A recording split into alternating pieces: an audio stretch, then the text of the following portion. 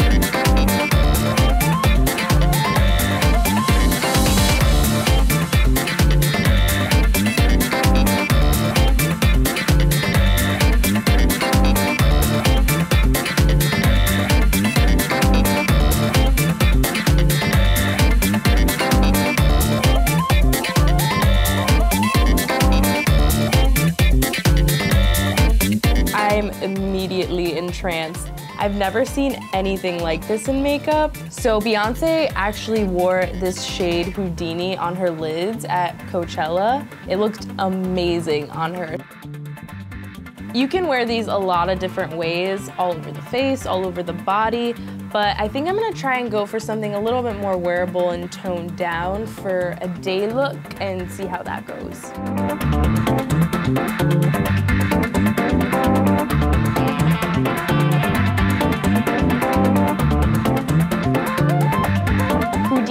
Ended up being a lot more beautiful and wearable than I actually thought it was going to be. I really do like that it dries and it doesn't feel like it's going anywhere. It won't rub off. It doesn't feel like anything is coming off. I also really like how multi-use the Houdini Space Paste is. You can really put this anywhere and it'll be this cool, exciting glitter that'll just disappear and appear, depending on the light you're in.